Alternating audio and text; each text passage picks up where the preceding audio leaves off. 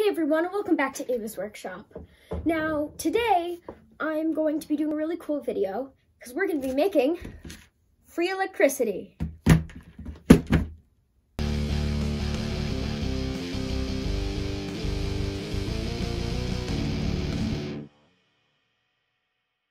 So I saw this video on the internet right here and it looked really interesting I wanted to try it for myself. You can see the video in the video description or click the card right there. Um, basically, this is how this works. Like my new set, it's literally the old set with plywood, which is supposed to look like drywall. Anyway, let's say you have a motor and the motor spins via electricity if you have electricity, or if you spin the motor, it creates electricity. So now what if you have one motor spinning and they're connected? So the motor spins this motor, which generates enough electricity for this motor again. It's like a loop, and then that even creates enough electricity to have some kind of light bulb or something. Yeah. It's called a perpetual motion machine. Let's get building.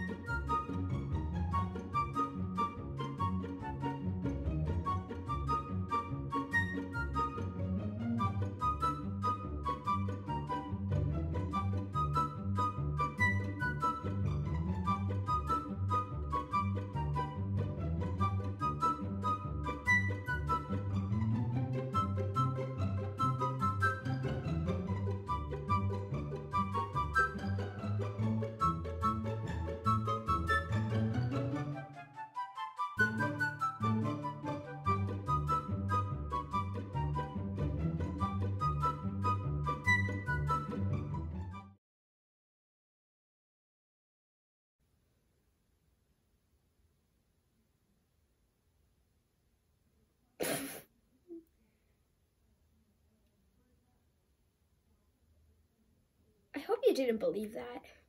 You know, it's April Fool's Day today. Actually, it's April 2nd, but I didn't get around to filming the whole thing yesterday, so. April Fools! This is something called a perpetual motion machine, and it does,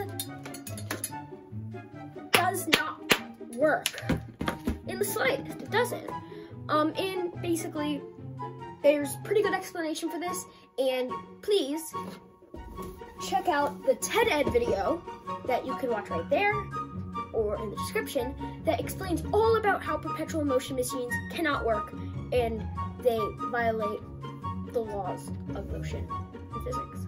So, yeah, I thought you'd get pranked by that. I'm sorry if you thought for the past couple minutes that I was super dumb and that I believed that this would work. And if you want to know how this works, good question. This is not a motor. It's actually a motor with all the guts taken out, then the guts taken out of an 9 volt battery and placed into here. And then I just glued the little rotor thing back in, so now this spins this one. And then I just pretend. It's all just good acting. Please don't get fooled by these. You can see plenty of these online. So, till next time, please watch that video. Happy April Fool's Day. After. Happy April 2nd. And I will see you in the next video. Bye!